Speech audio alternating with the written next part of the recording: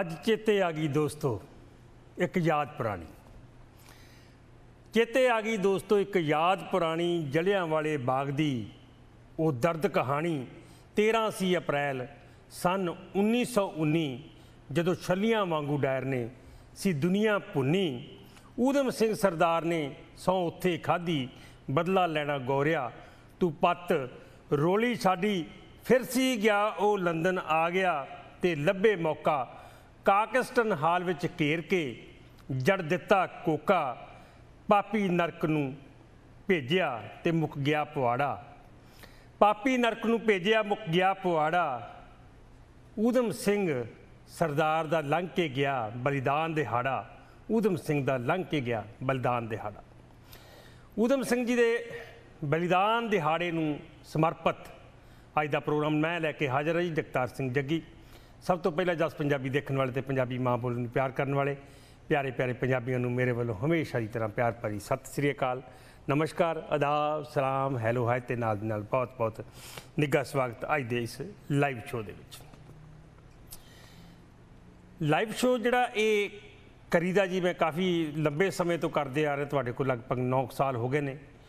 Live show ਕਰਦੇ ਆ ਤੇ ਪਰ ਜਦੋਂ ਊਧਮ ਸਿੰਘ ਜੀ ਦਾ ਤੇ ਅਹ, ਊਧਮ ਸਿੰਘ ਜੀ ਦਾ ਸ਼ਹੀਦੀ ਦਿਹਾੜਾ ਹੁੰਦਾ ਹੈ, ਉਦੋਂ ਦੀ ਗੱਲ ਕਰ ਲਈਏ ਚਾਹੇ ਊਧਮ ਸਿੰਘ ਦਾ ਜਨਮ ਦਿਹਾੜਾ ਹੁੰਦਾ ਉਦੋਂ ਦੀ ਗੱਲ ਕਰ ਲਈਏ ਤੇ ਇੱਕ ਇਤਫਾਕ ਜੁੜਦਾ ਹੈ ਤੇ ਜਿਹੜਾ ਮੈਂ ਤੁਹਾਡੇ ਨਾਲ ਹਰ ਵੇਲੇ ਸਾਂਝਾ ਕਰਦਾ ਤੇ ਅੱਜ ਵੀ ਸਾਂਝਾ ਜ਼ਰੂਰ ਕਰੂੰਗਾ। ਇਤਫਾਕ ਇਹ ਹੈ 31 ਜੁਲਾਈ ਦੀ ਅਸੀਂ ਗੱਲ ਕਰ ਲਈਏ। 31 ਜੁਲਾਈ 1940 ਨੂੰ ਸ਼ਹੀਦ ਆਜਮ ਸਰਦਾਰ ਊਧਮ ਸਿੰਘ ਨੂੰ ਫਾਂਸੀ ਤੇ ਲਟਕਾਇਆ ਗਿਆ ਸੀਗਾ। ਤੇ ਅਗਰ 31 ਜੁਲਾਈ 1980 ਦੀ ਗੱਲ ਕਰੀਏ, ਤਾਂ ਇੱਕ ਸੰਗੀਤ ਦਾ ਸਾਡਾ ਇਉਂ ਕਹਿ ਸਕਦੇ ਹਾਂ, ਅਸੀਂ ਯੋਧਾ ਹੀ ਕਹਿ ਸਕਦੇ ਹਾਂ, ਸੰਗੀਤ ਦਾ ਮਹਾਰਥ ਹੀ ਪੰਜਾਬੀ ਦਾ, ਉਹ ਇਸ ਦੁਨੀਆ ਨੂੰ ਅਲਵਿਦਾ ਕਹਿ ਗਿਆ ਸੀਗਾ। ਅਹ 31 ਜੁਲਾਈ 1980 ਨੂੰ ਮੈਂ ਗੱਲ ਕਰ ਰਿਹਾ, ਮੁਹੰਮਦ ਰਫੀ ਸਾਹਿਬ ਦੀ। ਤੇ ਊਧਮ ਸਿੰਘ ਜੀ ਨਾਲ ਇਤਫਾਕ ਜਨਮ ਦਿਨ ਦਾ ਵੀ ਹੈਗਾ ਥੋੜਾ ਜਿਹਾ। 26 ਦਸੰਬਰ 1900 ਅਹ 1826 ਦਸੰਬਰ 1899 ਨੂੰ ਊਧਮ ਸਿੰਘ ਜੀ ਦਾ ਜਨਮ ਹੋਇਆ ਸੀਗਾ ਤੇ 24 ਦਸੰਬਰ 1924 ਨੂੰ ਮੁਹੰਮਦ ਰਫੀ ਦਾ ਜਨਮ ਹੋਇਆ ਸੀਗਾ। ਸੋ ਅੱਜ ਦਾ ਪ੍ਰੋਗਰਾਮ ਰਲਿਆ ਮਿਲਿਆ ਰਹੇਗਾ ਜੀ, ਸੰਗੀਤ ਨੂੰ ਵੀ ਸਮਰਪਿਤ ਹੋਏਗਾ। ਤੇ ਸੰਗੀਤ ਤੋਂ ਪਹਿਲਾਂ ਸਾਡੇ ਮਹਾਨ ਯੋਧਾ ਸਰਦਾਰ ਊਧਮ ਸਿੰਘ ਜੀ ਆ, ਉਹਨਾਂ ਨੂੰ ਸਮਰਪਿਤ ਤਾਂ ਹੋਏਗਾ ਹੀ ਹੋਏਗਾ। ਅਕਸਰ ਮੈਂ ਹੀ ਸਾਰਾ ਕੁਝ ਪਹਿਲਾਂ ਦੱਸ ਜਾਂਦਾ ਤੇ ਫਿਰ ਗੱਲ ਜਿਹੜੀ ਹੈਗੀ ਆ, ਉਹ ਸਾਡੇ ਦਰਸ਼ਕ ਵੀ ਕਰਨੀ ਚਾਹੁੰਦੇ ਹੁੰਦੇ ਆ, ਜਾਣਕਾਰੀ ਇਤਿਹਾਸ ਦੀ ਗੱਲ ਕਰ ਲਈਏ, ਉਹ ਵੀ ਸਾਡੇ ਦਰਸ਼ਕ ਦੇਣੀ ਚਾਹੁੰਦੇ ਹੁੰਦੇ ਆ। ਪਰ ਅਸੀਂ ਅੱਜ ਊਧਮ ਸਿੰਘ ਜੀ ਬਾਰੇ ਗੱਲ ਕਰਨ ਤੋਂ ਪਹਿਲਾਂ ਤੇ ਨਾਲ ਦੀ ਨਾਲ ਮੁਹੰਮਦ ਰਫੀ ਸਾਹਿਬ ਬਾਰੇ ਗੱਲ ਕਰਨ ਤੋਂ ਪਹਿਲਾਂ ਜ਼ਰੂਰ ਇੱਕ ਵਧਾਈ ਦੇਣੀ ਚਾਹੁੰਦੇ ਆ ਭਾਰਤੀ ਹਾਕੀ ਟੀਮ ਨੂੰ ਹਾਕੀ ਟੀਮ ਦੀ ਗੱਲ ਕਰੀਏ ਤਾਂ ਹਾਕੀ ਟੀਮ ਨੇ 올림픽 ਦੇ ਵਿੱਚ ਸੈਮੀਫਾਈਨਲ 'ਚ ਪ੍ਰਵੇਸ਼ ਕਰ ਲਿਆ ਮੈਂ ਫੋਨ ਤਾਂ ਚੱਕ ਲਿਆ ਤਾਂ ਕਿ ਸ਼ਾਇਦ ਤੁਹਾਨੂੰ ਅਪਡੇਟ ਜਿਹੜੀ ਹੈਗੀ ਆ ਉਹ ਵੀ ਥੋੜੀ ਬਹੁਤ ਦੇ ਦਈਏ ਨਾਲ ਦੀ ਨਾਲ ਜਿਹੜੀ ਕਿ ਹੁਣ ਮੈਚ ਚੱਲ ਰਿਹਾ ਹੈਗਾ ਇਸ ਸਮੇਂ ਸੋ ਅਹ, ਹਾਕੀ ਦਾ ਹੁਣ ਮੈਚ ਚੱਲ ਰਿਹਾ ਜੇ ਸਾਡੇ ਦਰਸ਼ਕ ਦੇਖ ਰਹੇ ਹੋਣਗੇ। ਹੁਣ ਘੰਟਾ ਕੁ ਹੋਇਆ ਮੈਚ ਸ਼ੁਰੂ ਹੋਏ ਨੂੰ। ਮੇਰੇ ਖਿਆਲ ਹੁਣ ਤਾਂ ਖਤਮ ਹੋਣ ਦੇ ਕਿਨਾਰੇ ਹੋਣਾ ਜਦੋਂ ਮੈਂ ਹੁਣੇ ਹੁਣੇ ਲਾਸਟ ਅਪਡੇਟ ਦੇਖੀ ਸੀ ਤੇ ਉਦੋਂ ਬੈਲਜੀਅਮ ਦੇ ਤੇ ਭਾਰਤ ਦੇ ਦੋ ਦੋ ਗੋਲ ਸੀ ਬਰਾਬਰ। ਔਰ ਮੈਚ ਇਹ ਵੀ ਫਸਵਾਂ ਸੈਮੀ ਫਾਈਨਲ ਹੈ। ਇਸ ਤੇ ਅੱਗੇ ਫਾਈਨਲ ਦੇ ਗਿਆ ਜਿਹੜਾ ਜੀ ਜੜ ਵੱਜਣੀ ਆ। ਪਰ ਭਾਰਤੀ ਟੀਮ ਦੀ ਗੱਲ ਕਰੀਏ ਉਤਸ਼ਾਹ ਪੂਰਾ ਪਰ ਅੱਜ ਦੇ ਮੈਚ, ਇਸ ਤੋਂ ਪਹਿਲਾਂ ਗ੍ਰੇਟਨ ਬ੍ਰਿਟੇਨ ਨੂੰ ਜਿਹੜਾ ਗ੍ਰੇਟ ਬ੍ਰਿਟੇਨ ਨੂੰ ਹਰਾਇਆ ਤਿੰਨ, ਇੱਕ ਦੇ ਨਾਲ। ਤੇ ਅੱਜ ਦੇ ਮੈਚ ਦੇ ਵਿੱਚ ਪਹਿਲੇ 2 ਮਿੰਟ ਦੇ ਵਿੱਚ ਹੀ ਬੈਲਜੀਅਮ ਨੇ ਗੋਲ ਠੋਕਤਾ ਸੀ ਭਾਰਤ ਦੇ ਸਿਰ। ਪਰ ਛੇਤੀ ਭਾਰਤ ਨੇ ਇੱਕ ਇੱਕ ਨਾਲ ਬਰਾਬਰ ਕਰਤਾ ਤੇ ਛੇਤੀ ਮ- ਮਨਪ੍ਰੀਤ ਨੇ ਤੇ ਹਰਮਨਪ੍ਰੀਤ ਨੇ ਇਹਨਾਂ ਨੂੰ ਗੋਲ ਕਰਕੇ ਤੇ 2-1 ਨਾਲ ਲੀਡ ਹਾਸਲ ਲੈ ਲਈ ਸੀਗੀ। ਉਸ ਤੋਂ ਬਾਅਦ ਫਿਰ ਬੈਲਜੀਅਮ ਨੇ ਗੋਲ ਕਰਕੇ ਤੇ ਹੁਣ ਮੇਰੇ ਖਿਆਲ ਤਾਜ਼ਾ ਸਥਿਤੀ ਇਹ ਆ ਕਿ ਦੋਵੇਂ ਦੋ ਦੋ ਗੋਲਾਂ ਨਾਲ ਬਰਾਬਰ ਨੇ ਫਿਰ ਵੀ ਸਾਡੇ ਦਰਸ਼ਕਾਂ ਕੋਲੇ ਕੋਈ ਅਪਡੇਟ ਹੋਵੇ ਤਾਂ ਜ਼ਰੂਰ ਦੱਸਿਓ ਚਲੋ 올림픽 ਵਿੱਚ ਹਾਕੀ ਦੀ ਬੱਲੇ ਬੱਲੇ ਇਹ ਤਾਂ ਬੜੇ ਮਾਣ ਵਾਲੀ ਗੱਲ ਹੈ ਹੀ ਹੈ ਭਾਰਤ ਵਾਸਤੇ ਵੀ ਮਾਣ ਵਾਲੀ ਗੱਲ ਹੈ ਸਾਡੇ ਵਾਸਤੇ ਵੀ ਮਾਣ ਵਾਲੀ ਗੱਲ ਹੈ ਕਿ 11 ਪਲੇਅਰ 15 ਦੇ ਵਿੱਚੋਂ ਐਤਕੀ ਪੰਜਾਬੀ ਨੇ ਜਿਨ੍ਹਾਂ ਦੇ ਵਿੱਚੋਂ 8 ਤਾਂ ਖੇਡ ਰਹੇ ਨੇ ਮੌਜੂਦਾ ਵੇ- ਹਾਕੀ ਦੇ ਵਿੱਚ ਔਰ ਵਧੀਆ ਪ੍ਰਦਰਸ਼ਨ ਕਰ ਰਹੇ ਨੇ ਔਰ ਇਹ ਐਤਕੀ ਸ਼ਾਇਦ ਥੋੜਾ ਜਿਹਾ ਜਿਹੜਾ ਵੀ ਹਾਕੀ ਦਾ ਕੋਈ ਅਹ, ਹੋਏਗੀ ਆਈਸੀਸੀ ਜਿਹੜੀ ਹਾਕੀ ਦੀ ਇੰਡੀਆ ਦੀ ਹੈਗੀ ਕਮੇਟੀ ਹੈ ਉਹਨਾਂ ਨੇ ਚੰਗਾ ਫੈਸਲਾ ਲਿਆ ਐਤਕੀ ਸਿਰਫ ਖਿਡਾਰੀ ਚੁਣ ਕੇ ਭੇਜੇ ਨੇ ਨਹੀਂ ਤਾਂ ਅਦਰਵਾਈਜ਼ 1980 ਤੋਂ ਬਾਅਦ ਇਹ ਹੁੰਦਾ ਸੀਗਾ ਪੋਲੀਟੀਕਲੀ ਹਾਕੀ ਦੇ ਵਿੱਚ ਭਾਰੀ ਹੋ ਗਏ ਸੀਗੇ ਲੀਡਰ ਭਾਰੀ ਹੋ ਵੀ ਹਾਵੀ ਹੋ ਗਏ ਸੀ। ਕਿਸੇ ਨਾ ਕਿਸੇ ਲੀਡਰ ਦਾ ਮੁੰਡਾ ਜਾਂ ਖਾਸ ਪਾਰਟੀ ਦਾ ਜਿਹੜਾ ਉਹ ਕ੍ਰਿਕਟ ਦਾ ਪ੍ਰਧਾਨ, ਉਹੀ ਹਾਕੀ ਦਾ ਪ੍ਰਧਾਨ, ਉਹ ਦੂਜਾ ਕੋਈ ਨਹੀਂ ਤਾਂ ਹਾਕੀ ਦਾ ਪ੍ਰਧਾਨ ਜਿਹੜਾ ਹੁੰਦਾ ਸੀ। ਮੁੱਕਦੀ ਗੱਲ ਇਹ ਹੈ ਕਿ ਰਾਜਨੀਤੀ ਜਿਹੜੀ ਆ ਉਹ ਖੇਡਾਂ ਵਿੱਚ ਵੀ ਆ ਗਈ ਸੀ। ਇਸ ਵਾਰ ਲੱਗਦਾ ਕਿ ਰਾਜਨੀਤੀ ਨਹੀਂ ਆਈ। ਪਹਿਲਾਂ ਫਿਰ ਇਹ ਹੋ ਗਿਆ ਸੀਗਾ, ਨਹੀਂ ਜੀ, ਨਹੀਂ, ਅੱਠ ਖਿਡਾਰੀ ਪੰਜਾਬ ਦੇ ਕਿਵੇਂ ਲੈ ਸਕਦੇ ਆ, ਬਾਕੀ ਸਾਰਾ ਹਿੰਦੁਸਤਾਨ ਪਿਆ। ਨਹੀਂ ਨਹੀਂ, ਦੋ ਖਿਡਾਰੀ ਕੇਰਲ ਦੇ ਲਓ, ਦੋ ਉੱਥੋਂ ਦੇ ਲਓ, ਦੋ ਉੱਥੋਂ ਦੇ ਲਓ ਤੇ ਦੋ ਦੋ ਤਿੰਨ ਲੈ ਲਓ, ਪ- ਪੰਜਾਬ ਦੇ ਜੇ ਲੈਣੇ ਆ।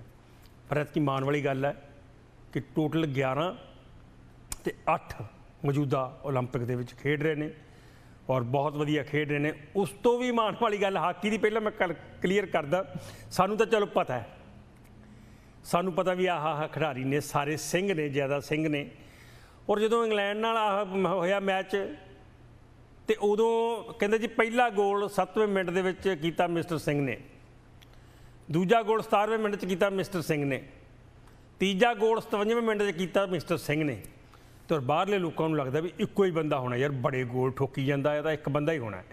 ਤੇ ਪਰ ਸਿੰਘ ਸਿੰਘ ਹੀ ਆ ਜੀ, ਸਿੰਘ ਚੈੱਕ ਤੇ ਵੀ ਹੈਗੇ ਨੇ ਤੇ ਦੂਜੀ ਇੱਕ ਮਾਣ ਵਾਲੀ ਗੱਲ ਜਿਹੜੀ ਕਮਲਪ੍ਰੀਤ ਕੌਰ ਜਿਹੜੀ ਹੈਗੀ ਆ, ਉਹ ਡਿਸਕਸ ਥਰੋ ਦੇ ਵਿੱਚ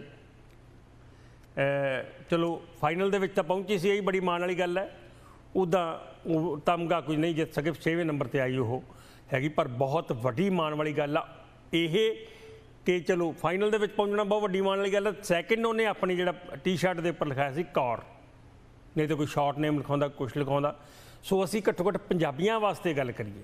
ਪੰਜਾਬੀਆਂ ਦੀ ਗੱਲ ਕਰੀਏ ਜਾਂ ਸਿੱਖ ਕੌਮ ਦੀ ਅਸੀਂ ਸਪੈਸ਼ਲੀ ਗੱਲ ਕਰੀਏ, ਤਾਂ ਉਹਦੇ ਵਾਸਤੇ ਬੜੀ ਮਾਣ ਦੀ ਗੱਲ ਹੈ ਕਿ ਜਦੋਂ ਸਿੰਘ ਸਿੰਘ ਸਿੰਘ ਸਿੰਘ ਹੀ ਆਉਂਦਾ ਹੈ, ਤੇ ਅੱਜ ਵੀ ਜਿਹੜੇ ਦੋ ਗੋਲ ਕੀਤੇ, ਉਹ ਹਰਮਨਪ੍ਰੀਤ ਨੇ ਤੇ ਮੇਰੇ ਖਿਆਲ ਮਨਪ੍ਰੀਤ ਨੇ ਕੀਤੇ ਨੇ ਦੋਨੋਂ ਗੋਲ ਇੱਕ ਇੱਕ ਗੋਲ ਦੋਹਾਂ ਨੇ ਕੀਤਾ। ਤੇ ਉਹ ਵੀ ਸਿੰਘ ਸਿੰਘ ਹੀ ਆਏਗਾ। ਤੇ ਲੇਟੈਸਟ ਅਪਡੇਟ ਕੋਈ ਹੋਵੇ ਤੁਹਾਡੇ ਕੋਲ ਤਾਂ ਜ਼ਰੂਰ ਤੁਸੀਂ ਅਹ, ਸਾਂਝੀ ਕਰ ਦਿਓ ਤੇ ਉਧਰੋਂ ਪੀਵੀ ਸਿੰਧੂ ਜਿਹੜੀ ਮੈਡਲ ਜਿੱਤ ਕੇ ਆਈ ਹੈ ਕਾਂਸੀ ਦਾ ਪਹਿਲੀ ਲੇਡੀ ਹੈਗੀ ਹੈ ਜਿਹਨੇ ਲਗਾਤਾਰ ਦੋ ਵਾਰੀ 올림픽 ਦੇ ਵਿੱਚੋਂ ਕੋਈ ਨਾ ਕੋਈ ਮੈਡਲ ਜਿੱਤਿਆ ਤੇ ਚਲੋ ਉਹਦਾ ਸਵਾਗਤ ਤਾਂ ਹੋਣਾ ਬਣਦਾ ਹੀ ਸੀ ਮੋਦੀ ਸਾਹਿਬ ਨੇ ਕਹਿੰਦੇ ਫੋਨ ਕੀਤਾ ਉਹਨੂੰ ਫੋਨ ਕੀਤਾ ਮੈਸੇਜ ਕੀਤਾ ਕੀ ਨਹੀਂ ਕੀਤਾ ਇਹ ਤਾਂ ਪਤਾ ਨਹੀਂ ਇਹ ਤਾਂ ਮੈਂ ਖਬਰ ਪੜ੍ਹੀ ਹੈ ਕਿਤੇ ਵੀ ਪੀਵੀ ਸਿੰਧੂ ਤੂੰ ਆ ਜਾ ਛੇ ਛੇ ਦੀ ਫਿਰ ਆਪਾਂ ਇਕੱਠੇ ਆਈਸਕ੍ਰੀਮ ਖਾਵਾਂਗੇ ਲੈ ਦੱਸ ਵੀ ਉਹ ਵਿਚਾਰੀ ਹੁਣ ਤੋਂ ਬ- ਕਿੰਨੇ 50 ਦੀ ਹੋਊ ਆਈਸਕ੍ਰੀਮ ਦੇ, ਹੁਣ 40 ਦੀ ਹੋਊਗੀ, ਪਰ ਹੋ ਸਕਦਾ ਮੋਦੀ ਵਾਲੀ 5-700 ਦੀ ਹੋਵੇ ਜਾਂ 5-700 ਵਾਲੀ ਆਈਸਕ੍ਰੀਮ ਤੇ ਬੈਠੀ ਉਹ ਵਿਚਾਰੀ ਹੁਣ। ਏਡਾ ਵੱਡਾ ਦੇਸ਼ ਦਾ ਮਾਣ ਕ- ਉਹਨੇ ਵਧਾਇਆ ਹੈਗਾ ਤੇ ਉਹਨੂੰ ਮੋਦੀ ਸਾਹਿਬ ਕਹਿੰਦੇ ਵੀ ਆ ਜਾ, ਫਿਰ ਆਪਾਂ ਇਕੱਠੇ ਆਈਸਕ੍ਰੀਮ ਖਾਵਾਂਗੇ। ਚਲੋ ਜੀ, ਮੋਦੀ ਸਾਹਿਬ ਦੀ ਆਪਣੇ ਰੰਗ ਨੇ, ਆਪਣੀਆਂ, ਉਹਦੀਆਂ ਗੱਲਾਂ ਬਾਤਾਂ ਨੇ। ਅਸੀਂ ਅੱਜ ਦੇ ਹੁਣ ਪ੍ਰੋਗਰਾਮ ਵੱਲ ਚੱਲੀਏ ਜੇ। ਊਧਮ ਸਿੰਘ ਜੀ ਦੀ ਅਸੀਂ ਹਮੇਸ਼ਾ ਗੱਲ ਕਰੀਦੀ ਹੈ, ਊਧਮ ਸਿੰਘ ਜੀ ਬਾਰੇ ਗੱਲ ਕਰੀਦੀ ਹੈ, ਪਰ ਜੇ ਉਹਨਾਂ ਦੇ ਜੀਵਨ ਨੂੰ ਥੋੜਾ ਜਿਹਾ ਵੀ ਡੂੰਘਾਈ ਨਾਲ ਪੜ ਲਈਏ, ਕਿਸੇ ਕੋਲੋਂ ਸੁਣ ਲਈਏ, ਤਾਂ ਮੇਰਾ ਖਿਆਲ ਆ ਵੀ ਬੰਦਾ ਚਾਹੇ ਮਰਿਆ ਪਿਆ ਹੋਵੇ, ਬਿਸਤਰੇ ਦੇ ਉੱਪਰ ਮਰਨ ਵਾਲੇ ਮਰਨ ਕਰਾ ਰਹੇ ਹੋਵੇ ਚਾਹੇ, ਉਹਨੂੰ ਇੱਕਦਮ ਇੰਨੀ ਉਹਦੇ 'ਚ એનર્ਜੀ ਆ ਸਕਦੀ ਆ ਕਿ ਉੱਠ ਕੇ ਖੜਾ ਹੋ ਜੂ। ਜਿਹੜਾ ਬੰਦਾ ਉਦਮ ਸਿੰਘ ਜੀ ਦੀ ਗੱਲ ਸੁਣ ਲੂਗਾ ਉਹਨਾਂ ਦੀ ਇਤਿਹਾਸ ਜੇ ਪੜ ਲੂਗਾ ਜਨਮ ਤੋਂ ਬਾਅਦ ਤੱਕ ਦਾ ਇਤਿਹਾਸ ਐਂਡ ਤੱਕ। ਔਰ ਵੈਸੇ ਵੀ ਇਹ ਕਿਹਾ ਜਾਂਦਾ ਵੀ ਜਦੋਂ ਬੱਚੇ ਦੇ ਸਿਰ ਤੇ ਪਿਤਾ ਦਾ ਸਾਇਆ ਜਾਂ ਮਾਤਾ ਦਾ ਸਾਇਆ ਨਹੀਂ ਰਹਿੰਦਾ ਤੇ ਉਦੋਂ ਕੰਮ ਬੜਾ ਔਖਾ ਹੁੰਦਾ। ਇਹਨਾਂ ਦਾ ਨਾਮ ਵੀ ਬਚਪਨ ਦਾ। ਹੋਰ ਸੀ ਬਚਪਨ ਦੇ ਵਿੱਚ ਹੀ 2 ਸਾਲ ਬਾਅਦ ਹੀ ਮਾਤਾ ਦੀ ਡੈਥ ਹੋ ਗਈ ਸੀ ਤੇ ਮੈਂ ਲਗਭਗ 8 ਸਾਲ ਬਾਅਦ ਪਿਤਾ ਜੀ ਦੀ ਡੈਥ ਹੋ ਗਈ ਸੀ। ਕੀ ਹਾਲ ਹੋਏਗਾ ਇਹਦਾ, ਇਹਨਾਂ ਦਾ? ਦੂਜਾ ਭਰਾ ਸੀ ਮੁਕਤਾ ਸਿੰਘ। ਅਨਾਥ ਆਸ਼ਰਮ ਗਏ ਅੰਮ੍ਰਿਤਸਰ। ਪੜਿਆ ਹੋਊਗਾ ਸਾਰਿਆਂ ਨੇ ਸੁਣਿਆ ਹੋਊਗਾ। ਉੱਥੇ ਉਸ ਤੋਂ ਬਾਅਦ ਜਦੋਂ 18 ਕੁ ਸਾਲ ਇਹਨਾਂ ਦੀ ਉਮਰ ਸੀਗੀ ਜਾਣੀ ਕਿ ਅਹ, 2017 ਦੇ ਵਿੱਚ 18 ਕੁ ਸਾਲ ਦੀ ਉਮਰ ਬਣੀ। ਅਹ, 2018 ਨਹੀਂ ਸੌਰੀ 1917 ਦੇ ਵਿੱਚ। 1917 ਦੇ ਵਿੱਚ ਇਹਨਾਂ ਦੀ ਉਮਰ ਜਦੋਂ 18 ਸਾਲ ਦੀ ਸੀਗੀ 1899 ਚ ਬਰਥ ਹੋਇਆ ਤੇ ਉਦੋਂ ਇਹਨਾਂ ਦੇ ਭਰਾ ਦੀ ਵੀ ਡੈਥ ਹੋ ਗਈ ਸੀ। ਉਦੋਂ ਬਾਅਦ ਇਕੱਲੇ ਰਹਿ ਗਏ। 17 ਤੋਂ ਬਾਅਦ ਆ ਗਿਆ 2019 ਤੇ 2019 ਦੇ ਵਿੱਚ ਜਲਿਆਂਵਾਲੇ ਬਾਗ ਦਾ ਸਾਕਾ ਜਿਹੜਾ ਹੋਇਆ ਹੈ। ਸਾਨੂੰ ਸਾਰਿਆਂ ਨੂੰ ਪਤਾ ਡਾਇਰ ਨੇ ਉੱਥੇ ਕੀ ਹਾਲ ਕੀਤਾ, ਕੀ ਨਹੀਂ ਕੀਤਾ। ਬਹੁਤ ਸਾਰੇ ਲਿਖਣ ਵਾਲੇ ਇਹ ਵੀ ਲਿਖਦੇ ਨੇ, ਕਹਿਣ ਵਾਲੇ ਇਹ ਵੀ ਕਹਿੰਦੇ ਨੇ ਕਿ ਉਹ ਜਿਹੜਾ ਜਲਿਆਂਵਾਲੇ ਬਾਗ ਦਾ ਸਾਕਾ ਹੋਇਆ, ਉਹ ਇੱਕ ਪਰਸਨਲ ਰੰਜਸ ਸੀਗੀ ਡਾਇਰ ਦੀ।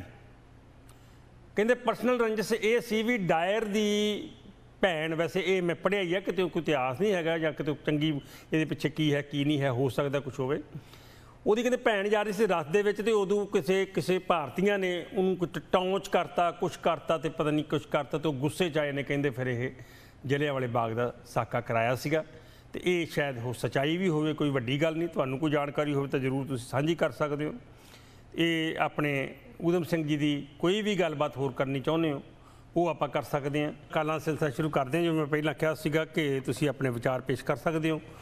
ਕੋਈ ਵੀ ਦੋ ਸ਼ਬਦ ਊਧਮ ਸਿੰਘ ਜੀ ਬਾਰੇ, ਮੁਹੰਮਦ ਰਫੀ ਸਾਹਿਬ ਬਾਰੇ, ਹਾਕੀ ਬਾਰੇ, ਕੋਈ ਵੈਸੇ ਤਾਂ ਕਿਸੇ ਵੀ ਟੌਪਿਕ ਤੇ ਅੱਜ ਆਪਾਂ ਗੱਲ ਕਰ ਸਕਦੇ ਨੇ ਫਿਰ ਵੀ ਥੋੜੇ ਜਿਹਾ ਆਪਣਾ ਇਹ ਪੁਆਇੰਟ ਹੈਗਾ ਕਿ ਅਸੀਂ ਅੱਜ ਕੋ ਅੱਜ ਸਾਡੇ ਕੋਲੇ ਘੱਟੋ ਘੱਟ ਦੋ ਤਿੰਨ ਗੱਲਾਂ ਬਹੁਤ ਵਧੀਆ ਹੈਗੀਆਂ ਗੱਲ ਕਰਨ ਵਾਸਤੇ। ਕੀ ਵਿਚਾਰ ਨੇ ਤੁਹਾਡੇ? ਤੇ ਨਾਲ ਦੀ ਨਾਲ ਕਾਲਾਂ ਦਾ ਸਿਲਸਿਲਾ ਆਪਾਂ ਸ਼ੁਰੂ ਕਰ ਲੈਂਦੇ ਹਾਂ ਜੀ। ਹੈਲੋ ਜੀ, ਸਤਿ ਸ਼੍ਰੀ ਅਕਾਲ। ਆਨਰ ਜੀ? ਹਾਂਜੀ ਸਤਿ ਸ਼੍ਰੀ ਅਕਾਲ ਜੀ। ਉਹ ਮੈਂ ਜੱਗੀ ਸਾਹਿਬ ਮੈਂ ਤੁਹਾਡੀ ਥੋੜੀ ਜੀ ਵੀ ਤਕਲੀਫ ਮਾਫ ਜੀ। ਇੱਕ ਵਾਰੀ ਪਿੱਛੇ ਜਾ ਕੇ ਦੇਖੋ ਤੁਸੀਂ ਦੋ ਵਾਰੀ ਵਰਡ ਬੋਲਿਆ 2019 ਹਾਂਜੀ ਹਾਂਜੀ ਹਾਂਜੀ। ਹਾਂ ਹਾਂ ਹਾਂ ਉਨ- 1919 ਹਾਂਜੀ। ਹਾਂਜੀ। ਮੈਂ ਮੈਂ ਸੁਧਾਰਿਆ ਸੀ ਵੈਸੇ। ਸੋਚਦਾ 2019 ਤਾਂ ਹੁਣ ਲੰਘ ਗਿਆ ਤੇ ਨਹੀਂ, ਮੈਂ- 2019 ਹੋਣੀ ਚਾਹੀਦੀ ਜਾਂਦੇ ਹਾਂ ਨਹੀਂ ਮੈਂ ਮੁੜ ਕੇ ਸੁਧਾਰਿਆ ਸੀ ਵੈਸੇ ਕੁਝ ਮੈਂ ਉਹ ਗਲਤੀ ਨਾਲ ਲਾਈਵ ਦੇ ਵਿੱਚ ਕਈ ਵਾਰੀ ਹੋ ਜਾਂਦਾ। ਥੈਂਕ ਯੂ ਤੁਹਾਡਾ ਬਹੁਤ ਜੀ ਗੱਲ ਕਰਨ ਵਾਸਤੇ। ਤੁਸੀਂ ਕੋਈ ਕਹਿਣੀ ਚਾਹੁੰਦੇ ਗੱਲ ਕਰਨੀ ਚਾਹੁੰਦੇ ਉਦਮ ਸਿੰਘ ਜੀ ਬਾਰੇ ਬਸ ਉਹ ਤਾਂ ਆਪਾਂ ਸਾਰੀ ਕਹਾਣੀ ਜਾਣਦੇ ਹੀ ਆ ਸਾਰੀ ਜੋ ਵੀ ਤੁਹਾਡੇ ਤੁਸੀਂ ਗਿਆਨ ਬਹੁਤ ਦੇ ਰਹੇ ਹੋ। ਸਾਨੂੰ ਉਹ ਤੁਹਾਡੇ ਪੰਜਾਬੀ ਪੰਜਾਬੀ ਸਿਪਾਹੀ ਵਾਲਾ ਬਹੁਤ ਯਾਦ ਆਉਂਦਾ। ਪੰਜਾਬੀ ਫੂਡ। ਐਂਡ ਚਾਟ ਚਲੋ ਜੀ ਜ਼ਰੂਰ। ਬਹੁਤ ਮਿਹਰਬਾਨੀ। ਮੈਂ ਬਹੁਤ ਮਿਹਰਬਾਨੀ। ਮੈਂ ਇੱਕ ਇੱਕ ਛੋਟੀ ਜਿਹੀ ਗੱਲ ਤੁਸੀਂ ਹੈਗੇ ਹੈਗੇ ਹੋ ਨਾ ਫੋ- ਫੋਨ ਤੇ ਸੁਣਿਓ ਗੱਲ ਤੇ ਮੈਂ ਤੇ- ਚਲੋ ਮੇਰੇ ਕੋਲ ਗਲਤੀ ਹੋ ਗਈ। ਤੇ ਇਹ ਸਾਡੇ ਜਿਹੜੇ ਲੀਡਰ ਨੇ ਜੀ ਦੇਖਿਆ ਹੋਣਾ ਸ਼ਾਇਦ ਖਬਰਾਂ ਦੇ ਵਿੱਚ ਕਿ ਪਹਿਲਾਂ ਤਾਂ ਜਿਹੜਾ ਰਾਣਾ ਗੁਰਮੀਤ ਸੋਢੀ ਹੈ ਉਹਨੇ ਕਿਤੇ ਫੰਕਸ਼ਨ ਤੇ ਸੀਗਾ ਜਿਹੜਾ ਕਰਾਇਆ ਤੇ ਉੱਥੇ ਨਾਮ ਨਾਲ ਲਿਖਿਆ ਸੀ ਊਧਮ ਸਿੰਘ ਦੇ ਨਾਲ ਹੇਠਾਂ। ਜਿਵੇਂ ਰਾਮ ਮੁਹੰਮਦ ਸਿੰਘ ਆਜ਼ਾਦ ਸੀ ਉਹਨਾਂ ਦਾ ਨਾਮ ਤੇ ਉਹਨਾਂ ਨੇ ਉੱਥੇ ਬੋਲਿਆ ਵੀ ਰਾਮ ਰਹੀਮ ਸਿੰਘ ਆਜ਼ਾਦ ਤੇ ਉੱਥੇ ਲਿਖਿਆ ਵੀ ਪੋਸਟਾਂ ਦੇ ਵਿੱਚ ਉਹੀ ਸੀ।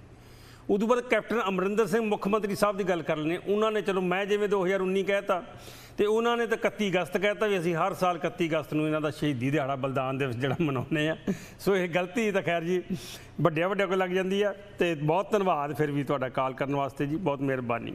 ਹਾਂਜੀ, ਸਤਿ ਸ਼੍ਰੀ ਅਕਾਲ ਜੀ, ਆਨਰ ਆਪਣਾ ਸਦਾ ਗੁਰਮੇਲ ਸਿੰਘ ਜੀ ਧੀਰ ਸਾਹਿਬ।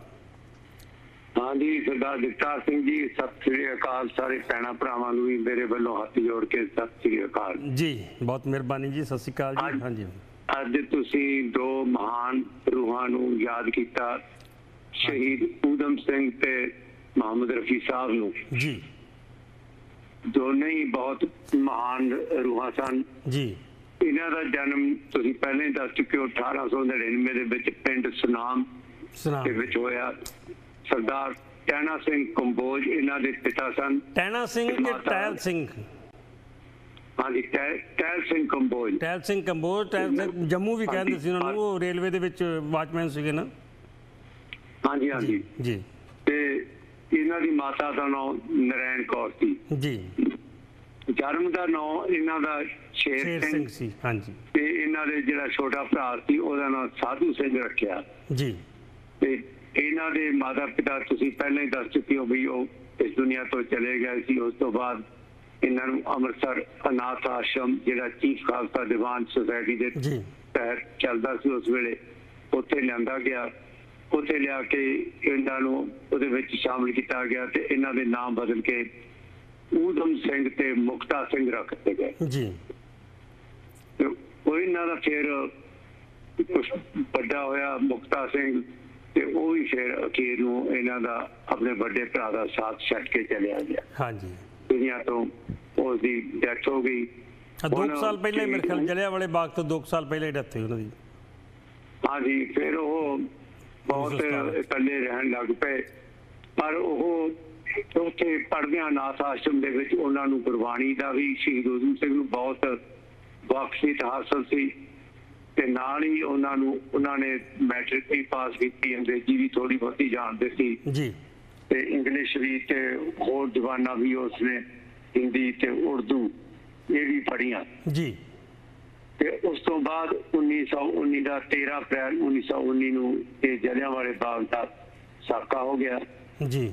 ਇਹ ਜਿਹੜਾ ਲਾਹੌਰ ਦਾ ਆਪਣੇ ਪੰਜਾਬ ਦਾ ਜਿਹਦੀ ਰਾਜਧਾਨੀ ਲਾਹੌਰ ਉਹਦਾ ਜਿਹੜਾ ਗਵਰਨਰ ਸੀ ਉਹ ਸਰ ਮਾਈਕਲ ਓਡਵਾਇਰ ਸੀ। ਜੀ। ਤੇ ਉਹਦਾ ਜਿਹੜਾ ਕਮਾਂਡਰ ਚੀਫ ਸੀ ਉਹ ਸੀ ਜਨਰਲ ਡਾਇਰ ਜਿਹੜਾ। ਗੋਬਿੰਦਗੜ੍ਹ ਕਿਲਾ ਉੱਥੇ ਰਹਿੰਦਾ ਸੀ ਅੰਮ੍ਰਿਤਸਰ। ਜੀ। ਇਹ ਗੋਬਿੰਦਗੜ੍ਹ ਕਿਲਾ ਮਹਾਰਾਜਾ ਰਣਜੀਤ ਸਿੰਘ ਨੇ 1808 ਦੇ ਵਿੱਚ ਬਣਾਇਆ ਸੀ। ਜੀ। ਹੁਣ ਇਹ ਉਹਨਾਂ ਦਿਨਾਂ ਦੇ ਵਿੱਚ ਅੰਮ੍ਰਿਤਸਰ ਦੇ ਵਿੱਚ ਬਹੁਤ ਹੀ ਜ਼ਿਆਦਾ ਮੂਵਮੈਂਟਸ ਚੱਲ ਰਹੀਆਂ ਸੀ ਕਿਉਂਕਿ ਡਾਕਟਰ ਸਤਪਾਲ ਤੇ ਡਾਕਟਰ ਸੈਫੂਦੀਨ ਕਿਚਲੂ ਇਹਨਾਂ ਨੂੰ ਇਹ ਦੋਨੇ ਕਾਂਗਰਸੀ ਸੀ ਤੇ ਗਵਰਨਮੈਂਟ ਨੇ ਗ੍ਰਿਫਤਾਰ ਕਰ ਲਿਆ। ਉਹਨਾਂ ਨੂੰ ਛਡਾਉਣ ਦੀ ਖਾਤਰ ਕਾਫੀ ਅੰਮ੍ਰਿਤਸਰ ਦੇ ਵਿੱਚ ਜਦੋਂ ਜਹਿਰ ਚੱਲੀ ਮੁਜ਼ਾਹਰੇ ਹੋਏ। ਇਹਨਾਂ ਮੁਜ਼ਾਹਰਿਆਂ ਦੇ ਵਿੱਚ ਦੇਖੋ ਇੰਨੀ ਸਖਤੀ ਕੀਤੀ ਗਈ ਕਿਸੇ ਨੂੰ ਵੀ ਸਿੱਧਾ ਹੋ ਕੇ ਤੁਰਨ ਦੀ ਇਜਾਜ਼ਤ ਨਹੀਂ ਸੀ। ਅੱਛਾ ਜੀ। ਤੇ ਉਹ ਰੀਂਗ ਕੇ ਚੱਲਦੇ ਸੀ ਚਾਹੇ ਕੋਈ ਔਰਤਾਂ ਪ੍ਰੈਗਨੈਂਟ ਵੀ ਸੀ ਉਹਨਾਂ ਨੂੰ ਵੀ ਰੀਂਗ ਕੇ ਚੱਲਣ ਦੀ ਚੱਲਣ ਦਾ ਹੀ ਹੁਕਮ ਸੀ। ਗੋਲੀਬਾਰੀ ਵੀ ਚੱਲਦੀ ਰਹੀ ਕੁਝ ਮੌਤਾਂ ਵੀ ਹੋਈਆਂ। ਫਿਰ 13 ਅਪ੍ਰੈਲ ਦੀ ਵਿਸਾਖੀ ਆ ਗਈ ਉੱਥੇ ਲੋਕ ਇਕੱਠੇ ਹੋਏ। ਤੇ ਗਵਰਨਮੈਂਟ ਦੇ ਖਿਲਾਫ ਸ਼ਾਂਤਮਈ ਅੰਦੋਲਨ ਚੱਲ ਰਿਹਾ ਸੀ। ਹਾਂਜੀ। ਮਾਈਕਲ ਓਡਵਾਇਰ ਨੇ ਲਾਹੌਰ ਦੇ ਗਵਰਨਰ ਨੇ ਜਨਰਲ ਡਾਇਰ ਨੂੰ ਹੁਕਮ ਕੀਤਾ ਫੌਜ ਲੈ ਕੇ ਜਾਣ ਦਾ। ਪਹਿਲਾਂ ਤਾਂ ਤੋਪਾਂ ਲਿਜਾਣ ਦਾ ਖਿਆਲ ਸੀ ਪਰ ਤੋਪਾਂ ਨਹੀਂ ਲੰਘ ਸਕੀਆਂ ਕਿਉਂਕਿ ਗਲੀਆਂ ਤੰਗ ਸੀ। ਹਾਂਜੀ। ਫਿਰ ਉਹ ਪਠਾਨ ਪਠਾਨਾਂ ਦੀ ਫੌਜ ਲੈ ਕੇ ਗਿਆ।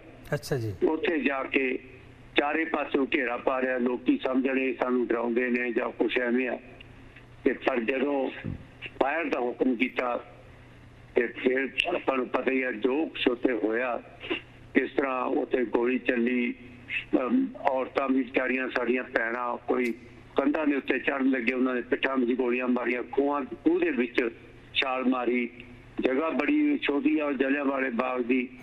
ਤੇ ਉਹ ਤੇ ਉੱਥੇ ਉਦਮ ਸਿੰਘ ਨੂੰ ਵੀ ਥੋੜਾ ਜ਼ਖਮੀ ਹੋਇਆ ਸੀ ਕਿਉਂਕਿ ਉਸਨੇ ਸਾਰਾ ਕੁਝ ਦੇਖਿਆ। ਤੇ ਉਹ ਦੇਖਣ ਤੋਂ ਬਾਅਦ ਮਨ ਤੇ ਬੜੀ ਸੱਟ ਵੱਜੀ।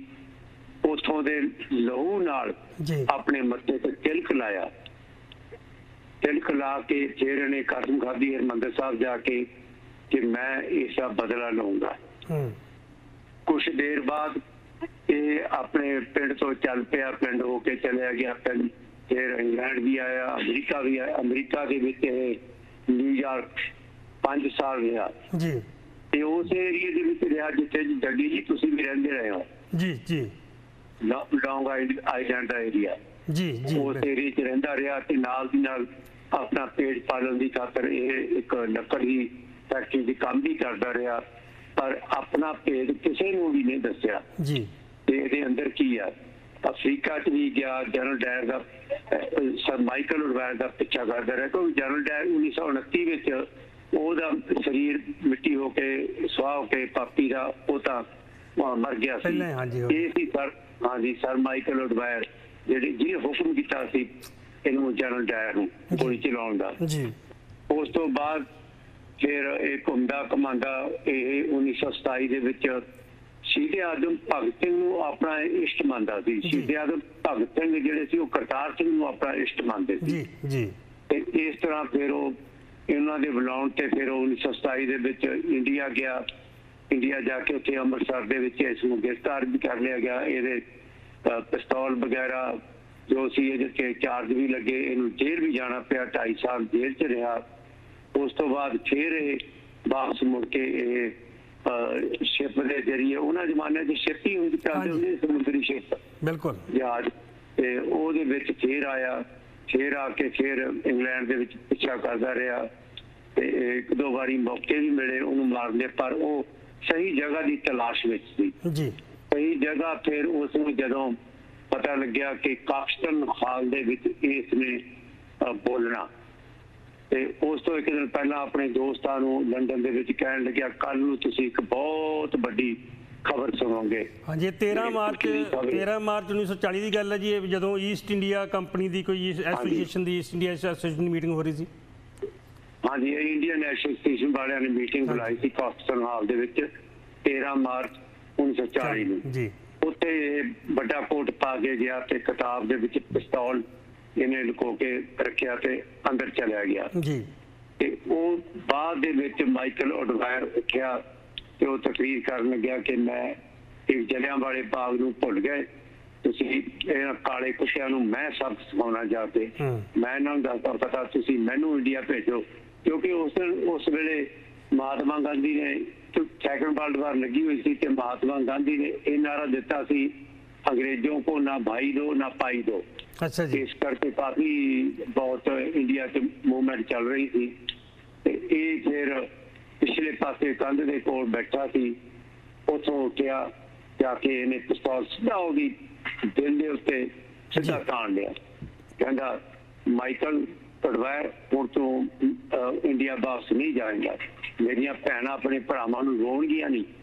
ਮੇਰੇ ਭਰਾਵਾਂ ਦੇ ਘਰ ਉੱਜਣਗੇ ਨਹੀਂ ਬਰਬਾਦ ਨਹੀਂ ਹੋਣਗੇ। ਤੇ ਨਾਲ ਹੀ ਆਪਣੀ ਪਿਸਤੌਲ ਇਸ ਨੇ ਉੱਤੇ ਖਾਲੀ ਕਰ ਦਿੱਤੀ।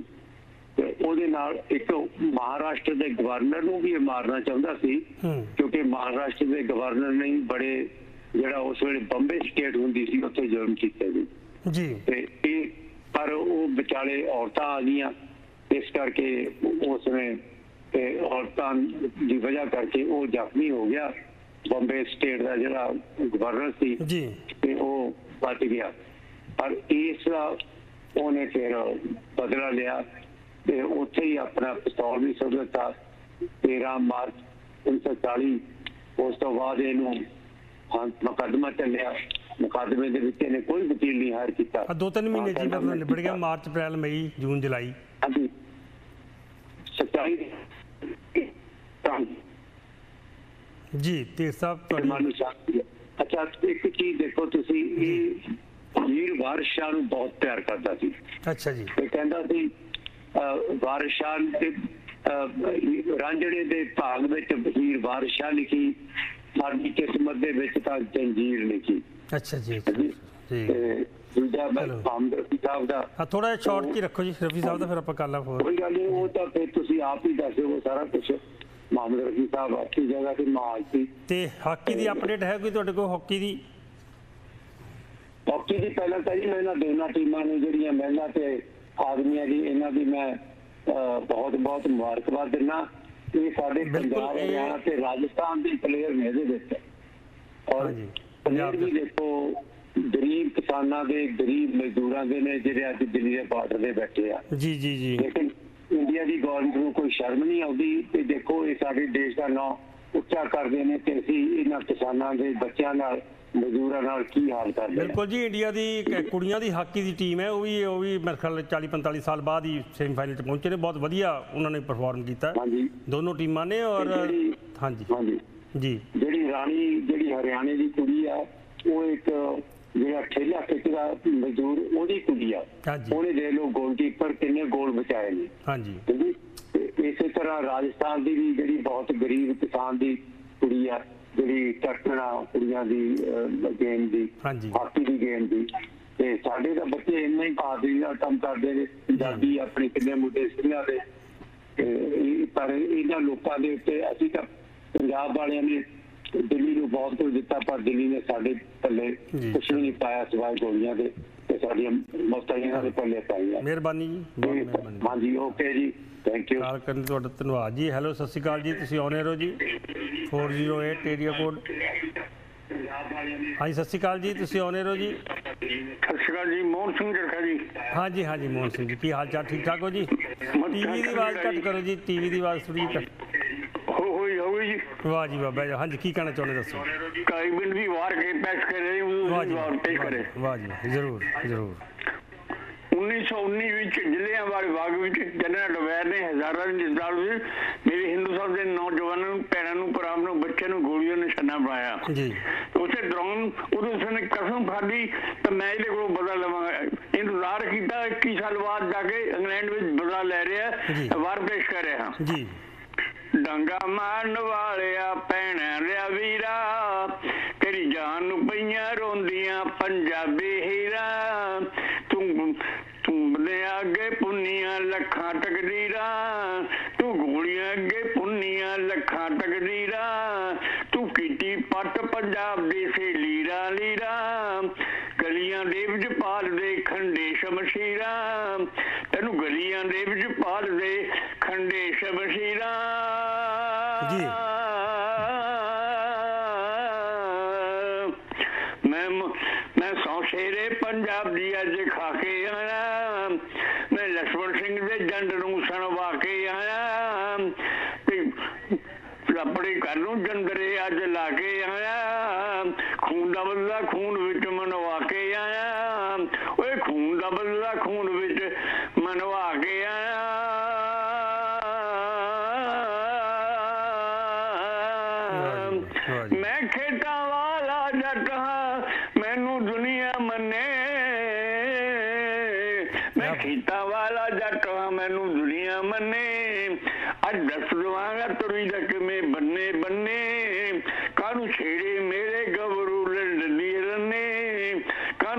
ਮੇਰੇ ਗਬਰੂ ਲੰਡਨ ਦੀ ਰੰਨੇ। ਜੀ। ਓਏ ਪੰਜ ਬਲਿਆ ਦੇ।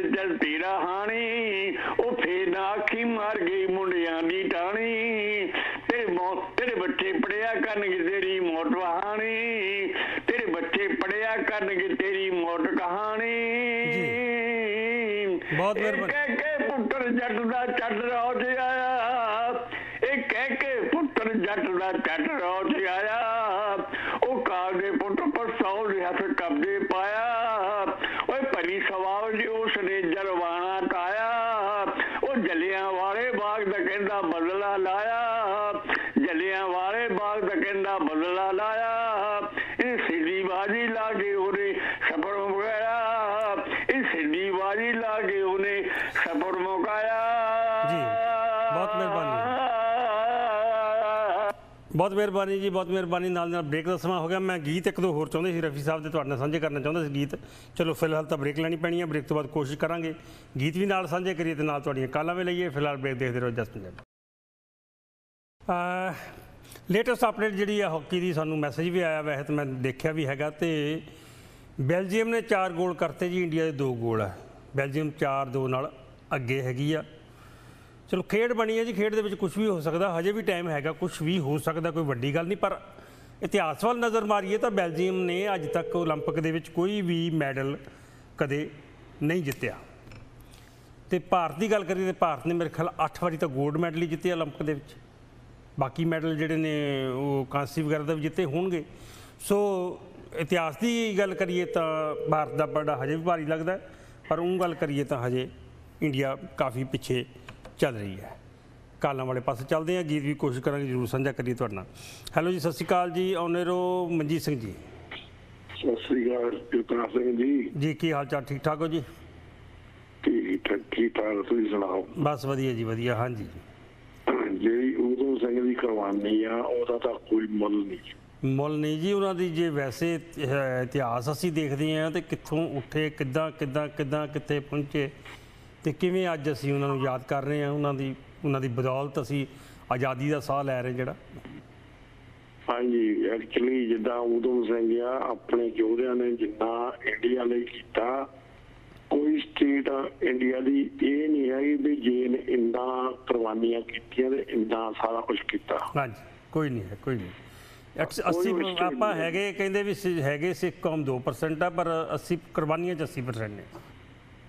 ਹਾਂਜੀ 80% ਹਾਂਜੀ। ਪਲੱਸ ਜਿਹੜਾ ਪੰਜਾਬ ਨੇ ਸੰਤਾਪ ਵੀ ਭੋਗੇ ਆ ਚੀਜ਼ ਕੀਤੀ ਆ। ਦੂਸਰੀ ਗੱਲ ਆ ਇਹਨਾਂ ਨੇ ਇਹ- ਇੱਥੇ ਤੱਕ ਕੋਈ ਬਾਹਰ ਆ ਕੇ ਵੀ ਕੁਰਬਾਨੀ ਹੈ ਜਿਹੜੇ ਅਹ, ਬੰਦੇ ਬਾਹਰ ਗਏ ਉਹ ਵੀ ਇਸ ਕੁਰਬਾਨੀ ਹੈ ਸਮਝ ਲਓ। ਬਿਲਕੁਲ ਜੀ ਬਿਲਕੁਲ ਬਿਲਕੁਲ ਬਿਲਕੁਲ। ਚਲੋ। ਹੁਣ ਸਾਨੂੰ ਪਤਾ ਅਸੀਂ ਕਿਹਟਾਂ ਨਾਲ ਕਿੱਦਾਂ ਦੇ ਹਾਲਾਤਾਂ 'ਚ ਆਏ ਆ। ਤੇ ਪ੍ਰੋਬਲਮ ਕੀ ਆ ਸਾਨੂੰ ਮਿਲਿਆ ਉੱਥੇ ਖੁਸ਼ ਨਹੀਂ ਇੰਡੀਆ ਬਿਲਕੁਲ ਇਹ ਤਾਂ ਹੈ ਜੀ। ਇਹ ਤਾਂ ਉਹਨਾਂ ਦੇ ਸ਼ਹੀਦਾਂ ਦੇ ਪਰਿਵਾਰ ਜਿਹੜੇ ਨੇ ਉਹ ਵੀ ਇਦਾਂ ਬਸ ਜਦੋਂ ਲੱਗੇ ਜਿਹਨਾਂ ਜਿਹਨਾਂ ਤੋਂ ਲੱਗਿਆ ਉਹਨਾਂ ਨੂੰ ਵੀ ਵੋਟਾਂ ਮਿਲਣੀਆਂ ਸਾਨੂੰ ਉਹਨਾਂ ਨੂੰ ਉਹਨਾਂ ਨੇ ਰੈਕਗਨਾਈਜ਼ ਕਰੀ ਗਏ ਮਾੜਾ ਮੋਟਾ ਨਹੀਂ ਤਾਂ ਅਦਰਵਾਈਜ਼ ਤਾਂ ਕਿਹੜਾ ਪੁੱਛਦਾ ਉੱਥੇ? ਇਹ ਤਾਂ ਅੱਛਾ ਇਹ ਦੇਖੋ ਆਪਣੇ ਚਲੋ ਗਲਤੀ ਬੰਦੇ ਕੋ ਹੋ ਜਾਂਦੀ ਹੈ ਪਰ ਉਹ ਜਿਹੜੇ ਪੋਸਟਰ ਤਾਂ ਪਹਿਲਾਂ ਬੰਦਾ ਪ੍ਰੂਫ ਰੀਡਿੰਗ ਕਰਦਾ ਉਹਨਾਂ ਨੇ ਛਪਵਾਏ ਫਿਰ ਬੋਲਿਆ ਵੀ ਜਿਹੜਾ ਉੱਥੇ ਕੋਈ ਫੰਕਸ਼ਨ ਕਰਾਇਆ ਵੀ ਰਾਮ ਰਹੀਮ ਸਿੰਘ ਆਜ਼ਾਦ ਦੱਸੋ। ਇਹ ਤਾਂ ਸਾਡੀ ਬਹੁਤ ਗਲਤੀ ਹੈ ਜਦੋਂ ਨਾ ਆਪਣੇ ਪਾਕਿਸਤਾਨ ਲੱਗਦਾ ਉਹਨਾਂ ਦਾ ਸਰਸੇ ਵਾਲਾ ਸਰਸੇ ਵਾਲਾ ਦਿਮਾਗ 'ਚ ਬੈਠਾ। ਹਾਂਜੀ ਹਾਂਜੀ। ਜਗਤਾਰ ਸਿੰਘ ਜਦੋਂ ਨਾ ਉਦੋਂ ਨਾ ਪਾਕਿਸਤਾਨ ਵੱਖ ਕੀਤਾ ਸੀਗਾ ਉਦੋਂ ਪੰਜਾਬ ਵਾਲਿਆਂ ਨੂੰ ਵੀ ਮਿਲਿਆ ਹੀ ਟਾਈਮ ਤੁਸੀਂ ਆਪਣਾ ਲੈਣਾ ਲੈ ਸਕਦੇ। ਹੋ। ਹੂੰ। ਜੇ ਕਿਤੇ ਉਹ ਲੈ ਲੈਂਦੇ ਅੱਜ ਸਾਡਾ ਮੁਲਕ ਬਾਹਰਲੇ ਮੁਲਕਾਂ ਦਾ ਹੁੰਦਾ। ਇਹ ਤਾਂ ਜੀ ਹੁਣ ਟਾਈਮ ਹੈਗਾ ਜਿਹੜਾ ਲੰਘ ਗਿਆ ਲੰਘ ਗਿਆ ਚਲੋ ਮਿਹਰਬਾਨੀ। ਲੰਘ ਗਿਆ ਲੰਘ ਗਿਆ ਜਾਨੀ ਗੱਲ ਕਰਦੇ ਕਰ ਸਕਦੇ, ਹੋ ਸਕਦਾ। ਤੁਸੀਂ ਤੁਸੀਂ ਲਾ ਲਓ ਇਹ ਆਪਣਾ ਸ਼ੁਰੂ ਤੋਂ ਸਿੱਖ ਕੌਮ ਦਾ ਇਹ ਆ। ਇਹ ਖਿਲਰੇ ਪੱਤਰੇ ਹੋਆ ਖਿਲਰੇ ਖਿਲਰੇ ਪੱਤਰੇ। ਕਿਉਂ? ਉਹਦੇ ਕਰਕੇ ਕਦੇ ਇਕੱਠ ਨਾ ਹੈ ਨਹੀਂ। ਜੀ। ਉਹਦੇ ਕਰਕੇ ਹਾਂ ਇਹਨਾਂ ਤੋਂ ਪੈਸਾ ਵੀ ਬਥੇਰਾ ਕਮਾਈ ਵੀ ਬਥੇਰੀ ਆ ਬਾਹਰ ਵੀ ਗਏ ਸਾਰਾ ਕੁਝ ਆ ਚਲੋ ਮਿਹਰਬਾਨੀ ਜੀ। ਉਹਦੇ ਕਰਕੇ ਗਵਰਨਮੈਂਟ ਸਾਰਾ ਫਾਇਦਾ ਉਠਾ ਰਹੀ ਹੈ। ਬਹੁਤ ਮਿਹਰਬਾਨੀ ਬਹੁਤ ਮਿਹਰਬਾਨੀ। ਆ ਸਾਨੂੰ ਮੈਸੇਜ ਆ ਗਿਆ ਜੀ ਇਹ ਪ- 510 ਏਰੀਆ ਕੋਡ ਤੋਂ ਤਾਂ ਨਾਮ ਨਹੀਂ ਉਹਨਾਂ ਨੇ ਲਿਖਿਆ। ਪੰਜ ਗੋਲ ਕਰਤੇ ਬੈਲਜੀਅਮ ਨੇ ਇੰਡੀਆ ਦੇ ਹਜੇ ਦੋ ਹੀ ਨੇ। ਹੈਲੋ ਹਾਂਜੀ ਸਤਿ ਸ਼੍ਰੀ ਅਕਾਲ ਜੀ ਆਉਣੇ ਹੋ ਜੀ ਤੁਸੀਂ ਸੰਦਰ ਸਾਹਿਬ। ਹਾਂਜੀ ਜੱਗੀ ਸਾਹਿਬ ਸੌਰੀ ਮੈਂ ਤੁਹਾਡਾ ਪ੍ਰੋਗਰਾਮ ਨਹੀਂ ਦੇਖ ਸਕਿਆ ਮੈਂ ਹਾਕੀ ਦਾ ਮੈਚ ਦੇਖਦਾ ਸੀ। ਅੱਛਾ ਹਾਕੀ ਪੰਜ ਗੋਲ ਕਰਤੇ ਬੈਲਜੀਅਮ ਨੇ ਜਾਂ ਖਤਮ ਹੋ ਗਿਆ? ਖਤਮ ਹੋ ਗਿਆ ਮੈਚ ਹਾਰ ਗਏ ਹਾਰ ਗਿਆ ਇੰਡੀਆ ਹਾਰ ਗਿਆ ਮੈਚ ਓਹ ਹੋ ਹੋ ਹੋ। ਬੜਾ ਉਤਸ਼ਾਹ ਸੀ ਵੈਸੇ ਸਭ ਦੇ ਵਿੱਚ ਪਰ ਖੇਡ ਖੇਡ ਹੈ ਜੀ ਅਗਲੇ ਵੀ ਘਰੋਂ ਖੇਡਣ ਆਏ ਨੇ ਉਹ ਵੀ ਮਾਂ ਦੇ ਪੁੱਤ ਨੇ ਦਹੀਂ ਮਿੱਠੇ ਵਾਲਾ ਖਾ ਕੇ ਆਏ ਹੁਣ ਘਰੋਂ ਵੀ ਹਾਂ ਵੈਸੇ ਜਿੱਤੇਗਾ ਤੇ ਉਹੀ ਜੇ ਜਿਹੜਾ ਸੁਪੀਰੀਅਰ ਹੈ ਇਹ 'ਚ ਕੋਈ ਹਾਂਜੀ ਸ਼ੱਕ ਨਹੀਂ ਹਾਂਜੀ ਇਹਨਾਂ ਨੂੰ ਆਹੋ ਜਦੋਂ ਉਦਾਂ ਸਦਰ ਸਾਹਿਬ ਮੈਂ ਗੱਲ ਕਰਦਾ ਸੀ ਇਤਿਹਾਸ ਦੇ ਵੱਲ ਨਜ਼ਰ ਮਾਰੀਏ ਤੇ ਬੈਲਜੀਅਮ ਨੇ ਅੱਜ ਤੱਕ 올림픽 ਦੇ ਵਿੱਚ ਹਾਕੀ ਦੇ ਵਿੱਚ ਕੋਈ ਮੈਡਲ ਮੈਡਲ ਨਹੀਂ ਜਿੱਤਿਆ ਅੱਜ ਤੱਕ ਹਾਂ ਪਰ ਇਹ ਇਹ ਫੇਰ ਬਦਲ ਹੁੰਦਾ ਰਹਿੰਦਾ ਨਾ ਹਾਂ, ਤੇ ਇੰਡੀਆ ਪਰ ਵੀ ਕਦੀ ਅੱਠ ਟਾਈਮ ਜਿੱਤਿਆ ਸੀ। ਹਮ। ਹਾਂ ਤੇ ਹੁਣ ਇਹ ਹੋ ਸਕਦਾ ਜੇ ਇਸ ਹਿਸਾਬ ਨਾਲ ਅੱਜ ਖੇਡੇ ਨੇ ਫਾਈਨਲ ਦੇ ਵਿੱਚ ਤਾਂ ਪਹੁੰਚ ਹੀ ਗਏ ਨਹੀਂ ਨਹੀਂ ਅੱਗੇ ਅੱਗ- ਅੱਗੇ ਨੂੰ ਹੋਰ ਵਧੀਆ ਖੇਲਣਗੇ ਕੋਈ ਸ਼ੱਕ ਨਹੀਂ। ਚਲੋ। ਅਰੇ ਪਹਿਲੀ ਵਾਰੀ ਤਾਂ ਇਹ ਸੈਮੀਫਾਈਨਲ ਚ ਪਹੁੰਚੇ ਆ ਨਾ ਹਾਂ। ਕਾਫੀ ਦੇਰ। ਆਪ ਚ 41 ਸਾਲ ਬਾਅਦ ਪਹੁੰਚੇ ਮੇਰੇ ਖਿਆਲ 1980 ਦੇ ਵਿੱਚ ਹੀ ਪਹੁੰਚੇ ਸ਼ਾਇਦ ਪਹਿਲਾਂ ਫਾਈਨਲ ਸੈਮੀਫਾਈਨਲ 80 ਚ ਪਹੁੰਚੇ ਸੀ ਜਾਂ ਵਰਲਡ ਕੱਪ ਇਹ ਨਹੀਂ ਜਿੱਤਿਆ ਸੀ 75 ਚ ਮੈਨੂੰ ਯਾਦ ਹੈ। ਉਦੋਂ ਪਹਿਲਾਂ ਹਾਂਜੀ ਹਾਂਜੀ। ਤੇ ਇੰਡੀਆ ਦੀ ਹਜੇ ਉਮੀਦਾਂ ਨੇ ਹੁਣ ਮਤਲਬ ਤੜਕੇ ਹੋਣਾ ਮੈਚ ਨਹੀਂ ਹੁਣ ਕੁੜੀਆਂ ਦਾ ਇੱਕ ਬ੍ਰੌਂਜ ਮੈਡਲ ਉਹ ਜਿਹੜਾ ਹੈਗਾ ਆਖਰੀ ਮੈਡਲ ਮਿਲਦਾ ਹੁੰਦਾ ਉਹਦੇ ਲਈ ਉਮੀਦ ਹੈ ਉਹਦੀ ਉਮੀਦ ਹੈਗੀ ਨਹੀਂ ਕੁੜੀਆਂ ਦੀ ਕੁੜੀਆਂ ਦਾ ਵੀ ਸੈਮੀਫਾਈਨਲ ਹੋਣਾ ਹੈਗਾ ਨਾ ਤੜਕੇ 3 ਵਜੇ ਅੱਜ ਆਪਣੇ ਹਾਂ, ਕੈਲੀਫੋਰਨੀਆ ਏਦਾਂ ਦੇ।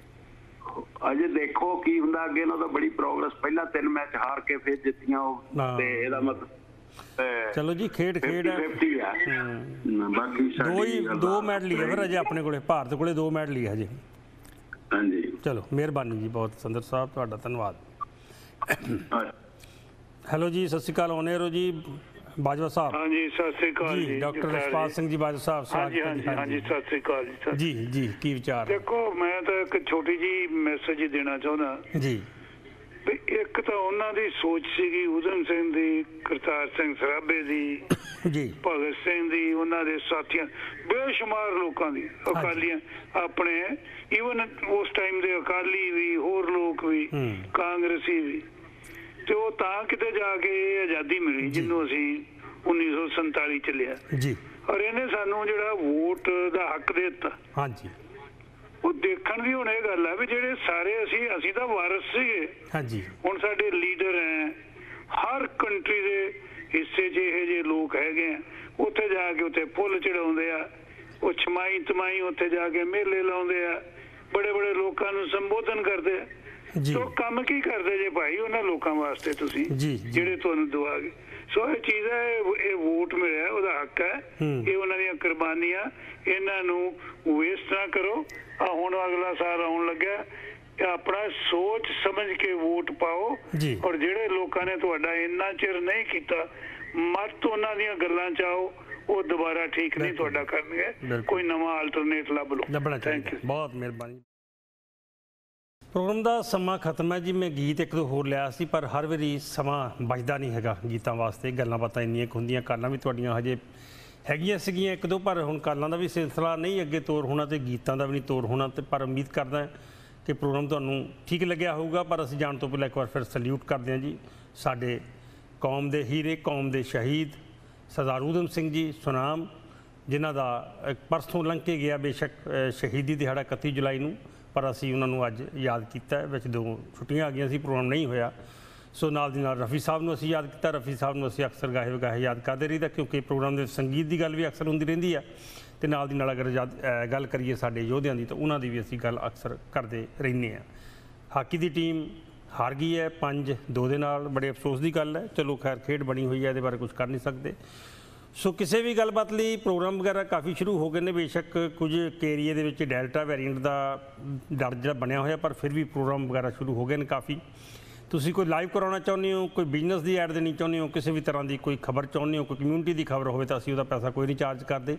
ਸਾਨੂੰ ਜਦੋਂ ਮਰਜ਼ੀ ਦੱਸ ਸਕਦੇ ਹੋ, ਅਸੀਂ ਉਹ ਖਬਰ ਬਿਨਾਂ ਕੋਈ ਪੈਸਾ ਲੈ ਅਨਾਉਂਸ ਕਰਦੇ ਹਾਂ। ਜ਼ਰੂਰੀ ਨਹੀਂ ਕਿ ਸਾਰੇ ਕੰਮ ਪੈਸਿਆਂ ਨਹੀਂ ਹੋਣੇ ਹੁੰਦੇ, ਪੈ- ਪੈਸੇ ਤੋਂ ਬਿਨਾਂ ਵੀ ਬਹੁਤ ਸਾਰੇ ਕੰਮ ਹੁੰਦੇ ਨੇ।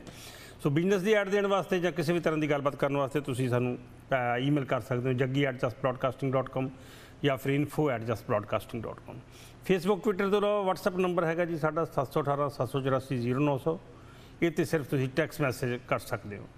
ਨਾਲ ਨਾਲ ਮੇਰਾ ਸੈੱਲ ਨੰਬਰ ਹੈਗਾ ਜੀ, ਇਹ ਤੇ ਟੈਕਸਟ ਵੀ ਕਰ ਸਕਦੇ ਹੋ ਤੇ ਕਾਲ ਵੀ ਕਰ ਸਕਦੇ ਹੋ। 209 450 3362 ਅਖੀਰ ਦੇ ਵਿੱਚ ਸਭ ਦਾ ਬਹੁਤ ਬਹੁਤ ਧੰਨਵਾਦ। ਪਿਆਰ ਭਰੀ ਸਤਿ ਸ਼੍ਰੀ ਅਕਾਲ। ਖੁਸ਼ ਰਹੋ, ਖੁਸ਼ ਰੱਖੋ, ਰੱਬ ਰੱਖਾ। ਜੀਵੇ ਪੰਜਾਬ, ਜੀਵੇ ਪੰਜਾਬੀ। ਨਾਨਕ ਨਾਮ ਚੜ੍ਹਦੀ ਕਲਾ ਤੇਰੇ ਭਾਣੇ ਸਰਬੱਤ ਦਾ ਭਲਾ।